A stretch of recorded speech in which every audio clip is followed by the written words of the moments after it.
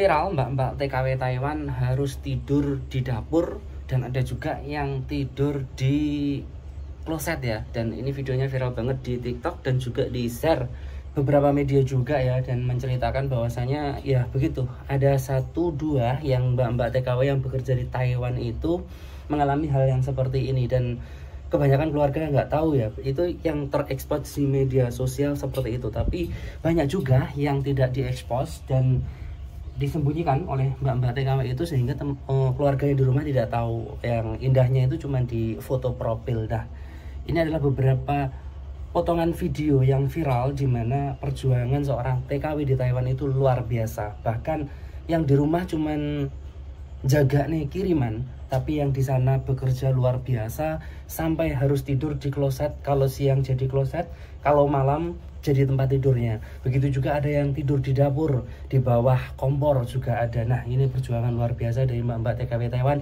yang ke depannya semoga pemerintah ada aturan khusus ataupun yang di Taiwan, yang di sektor informal ini masuk juga undang-undang sehingga mereka juga mendapatkan akomodasi tempat istirahat yang layak. Eh, majikan kalau nggak ada kamar nggak usah cari pembantu lah gitu.